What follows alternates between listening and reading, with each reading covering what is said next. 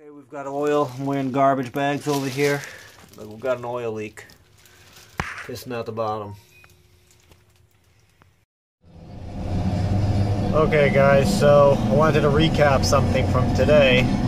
I went to a job that had an oil spill and um, it seemed like the canister under the oil filter was leaking, had sprung a leak. Well anyway, what I did is I put on a bunch of garbage bags over my feet and I walked through the uh, oil to turn off the boiler and the water heater, which uh, water heater was gas.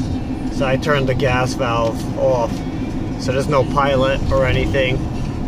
Well, anyway, well, we called the landlord with the customer who was a uh, was a tenant, and we said, you know, who's gonna clean this up? You know, in addition to make the repair, we've got that underway, but who's going to do the cleanup? And I heard the funniest answer you guys can never imagine. The, the tenant says, not the tenant, the uh, landlord says they're going to have the cleaning woman clean it up. So, if you guys have ever heard something so ridiculous in your life, they're going to have the cleaning woman clean up an oil spill.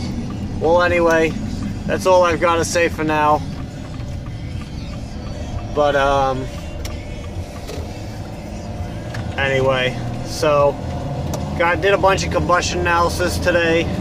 Did a couple boiler service calls. Uh, gonna head out to a boiler tomorrow to skim it.